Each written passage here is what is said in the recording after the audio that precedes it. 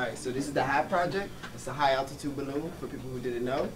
Um, okay, so real quick, these are our goals for our project. Our goals are to collect meteor dust from heights of above 60,000 feet. The goal is to have a petri dish slide out of the actual container and then slide back in when it drops below 60,000 feet again. Uh, we also want to reach a final height of 120,000 feet. We don't know how we're going to do it yet, but we are going to plan. We're going to figure out like how much helium we're supposed to put in the balloon so that it doesn't pop too early or too late. Well, too late is better because that means it's higher. Um, we also want to record video. We want to be able to track it. We want to have its altitude, the air pressure of the area around it, and temperature. Yeah. Um, so by we're gonna also get the average velocity by getting the distance and the time it took. So that's how we're gonna do that, and we're gonna try to have a tethered launch by July 11th. That's pretty much it. Well, the meteor shower is uh, from August 10th to August 14th, so we're gonna try to launch from like August 10th to August 12th. Uh, so yeah, we sh- should be done by that. Yeah, exactly. So. so at the moment, we've just been testing everything that works from previous projects because last year it didn't work out so well. They got the balloon up there, but they didn't have any recordings or data from it. So right now we're just trying to make sure that all software, cameras, GPSs work, everything. And then we need to get uh, a design going to actually collect meteor dust, since that is the goal for this year. Uh, So you want to talk a little bit about how you fix the software? Oh, yeah. So um, the previous team, the 2016, actually, they made it work, and it was working, but the different language. And then the ne- uh, last year's team, they decided to move on to the Arduino boards, and uh, they start collecting some stuff around the internet, I guess, and it wasn't working properly. And they also uh, burned the break, one of the GPS breakouts, so and co- uh, uh, connected with the wrong cable. So we fixed that. So we know it's working, and we tested. And now uh, we just placed uh, a new breakouts and uh, um, the SD card shield. So we're gonna replace it.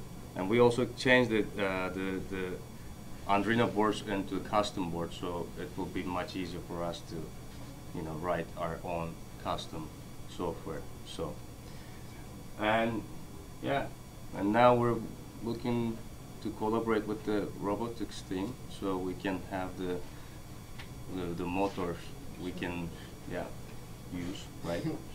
Um, wait, aren't you gonna move to the next slide, or sorry? All right, so our current, all right, so our current design for the uh, automated petri dish is this sliding mechanism. So there's going to be a rectangular platform with a circular slot for the petri dish, which will be secured to it via Velcro.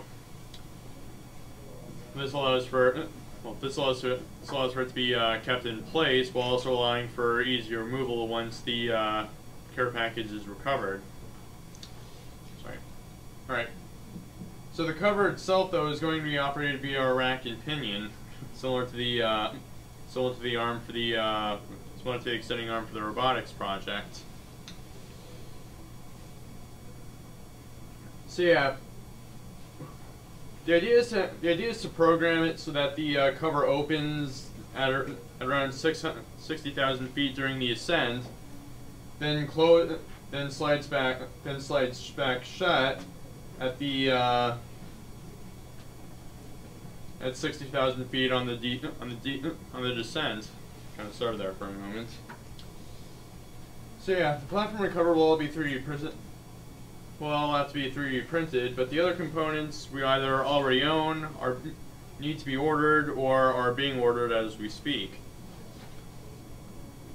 So now, unfortunately for the design and on account of the materials we have at we have to hand, as well as the lack thereof, there is a bit of a risk of contaminating the sample. Hopefully, we should be able to resolve that issue um, as we progress throughout the altitude balloon project. Additionally, the motors we've currently been looking at may be a little too fast for the rack and pinion to work, so we might be able to alleviate the issue by just having them rotate in bursts or intervals.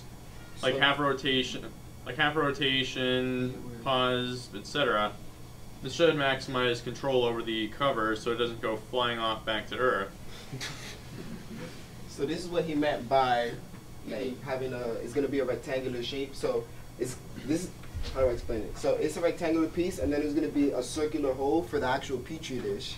So then our mechanism, the rack and pinion, which is right here, is gonna is gonna push it out and half burst like he said, so that because it's gonna be way too fast, it's gonna slide that whole the, the disc out in half in an eighth of a second. That's too fast.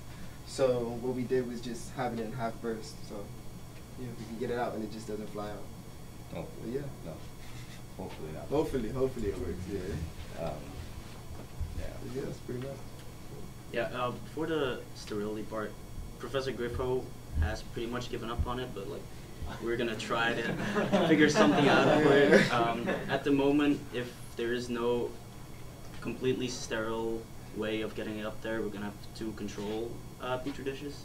One that we keep on the ground. Uh, at the same time, we launch the balloon, uh, and then one once we get the petri dish out and put the actual petri dish lid on it, so that way we can see if there's anything, uh, So any like complications with it from the ground, like sterility. yeah, so like we could tell what's the like what came from the ground and what came from actual the height that we opened the petri dishes at. But yeah, that's pretty much what we have. So.